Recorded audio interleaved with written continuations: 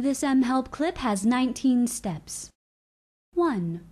Click the slide where you want to add a sound. 2.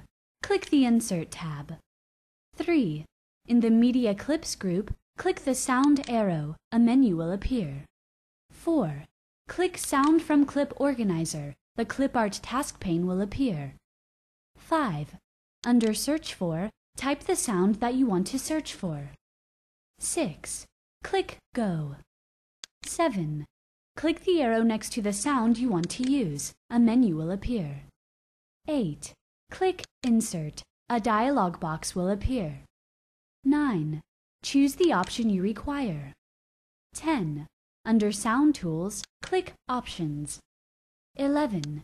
Under Sound Options, click Loop until stopped. 12.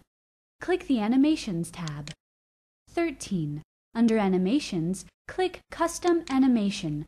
The Custom Animation task pane will appear. 14. Click the arrow next to the animation. A menu will appear. 15. Click Effect Options. A dialog box will appear. 16. Under Stop Playing, click After. 17.